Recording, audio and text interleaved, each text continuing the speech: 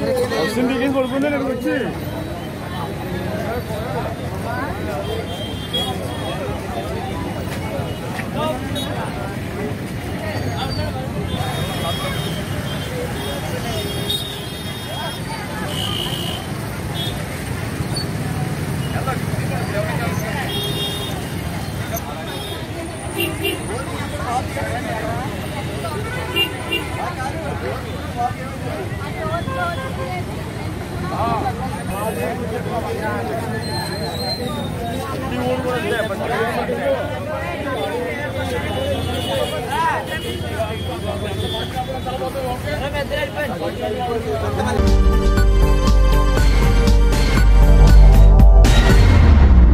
మరింత తాజా సమాచారం కోసం చూస్తూనే ఉండండి జేఎన్ఐ టుడే. సబ్స్క్రైబ్ చేయండి లైక్ చేయండి.